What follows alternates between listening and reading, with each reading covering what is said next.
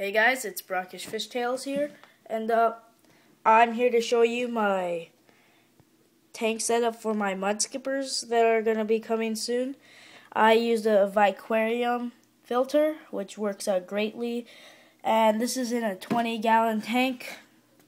I separated it for half land, half water. I have some fishes in here right now. What I have in here is just for it to cycle is one molly. Uh, Let's see if I can focus in on him. One bumblebee goby. Oh, never really focused in on them. Oh, I have another one too, right there. And uh, I had a flounder, but uh, they the molly was bothering him, so I had to move him to my other tank.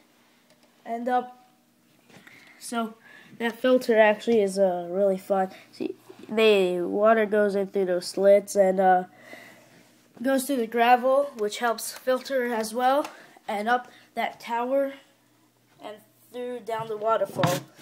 Uh, let me open this for you. And the way it filters is there's filter cap bags and each side, which is really well. I have my water heater submersible over there. And uh, it really, I love it. Uh, the people that helped me with this is fantastic.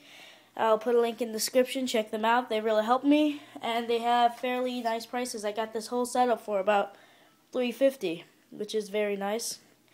Um, so, yep, I have my Viquarium, the gravel over there. I'm to have to add some decoration over here. I'm thinking about some moss right on the rocks. If anyone knows of any moss that I could get online or like where I could get them at a store, um, just hit me up, give me a comment, or inbox me. And uh, yeah, I guess I'm done with my setup. If you have any questions or dislikes or whatever, give a thumbs up anyways and uh, subscribe and tell me what decorations I could put in here. I'm thinking of putting like plants on the back. So that's uh good. Okay, see you later. Bye.